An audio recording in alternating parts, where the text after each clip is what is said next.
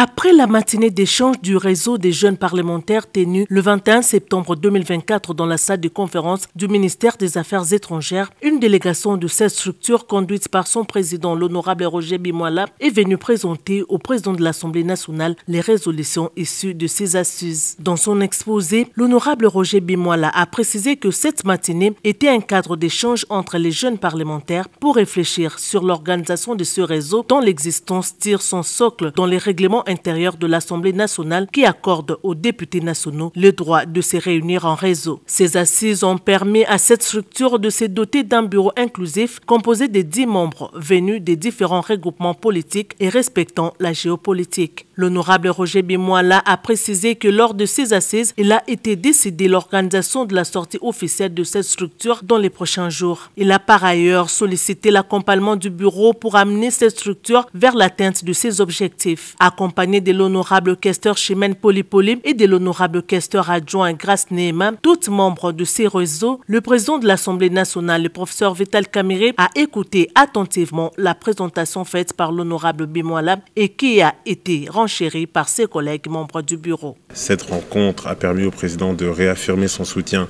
au seul et unique réseau des jeunes parlementaires de cette quatrième législature. Et durant cette rencontre, nous avons également pu lui faire la restitution de la matinée, de la rencontre d'échange entre jeunes parlementaires qui s'est tenue euh, il y a peu. Et nous avons également présenté des ajustements que nous avons fait au niveau de notre bureau, au niveau du bureau du réseau des jeunes parlementaires, qui est à présent un bureau équilibré qui représente euh, les jeunes parlementaires avec la représentation de la femme.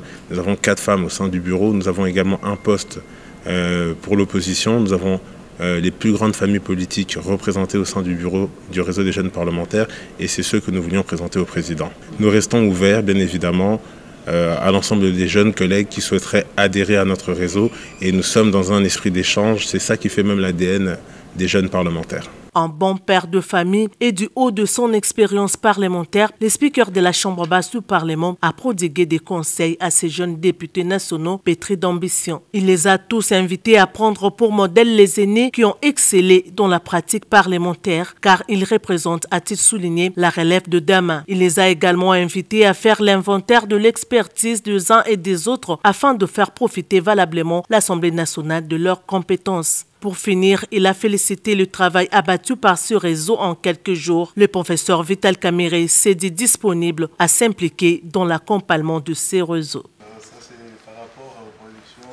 Avec les caucus des députés de quatre provinces de la RDC, il était question pour les speakers de la Chambre basse du Parlement de s'imprégner de différents problèmes et défis à relever dans les provinces de Kwilu, Maïndombe, Kwango et Kinshasa, alors que l'Assemblée nationale s'apprête à examiner le projet de loi des finances exercice 2025 déposé récemment par la première ministre Judith Souminois.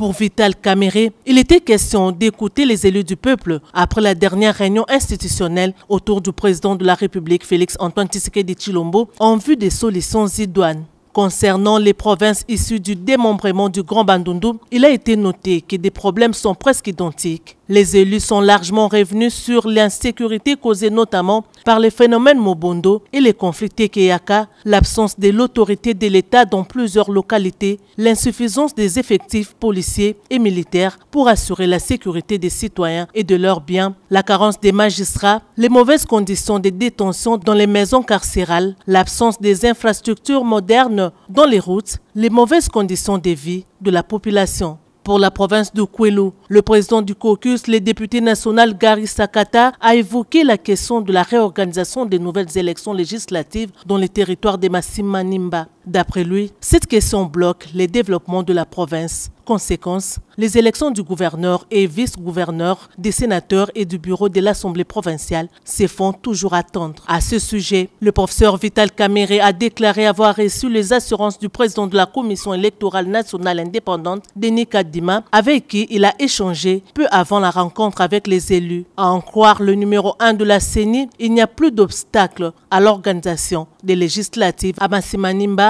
Kouelou et dont le calendrier sera incessamment publié. Il a rassuré que le problème des fonds nécessaires qui s'est posé est en voie d'être complètement résolu.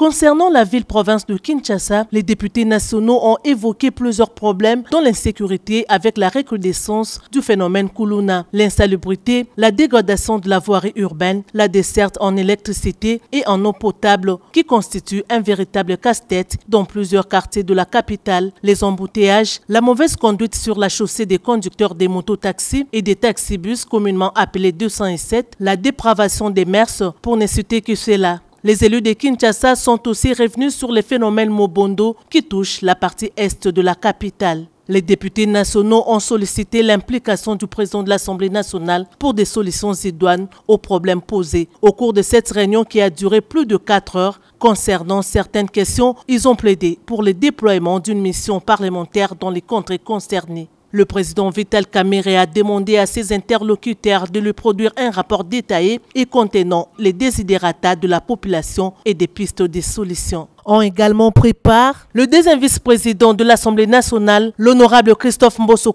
et les rapporteurs de la Chambre basse du Parlement, le professeur Jacques Joly.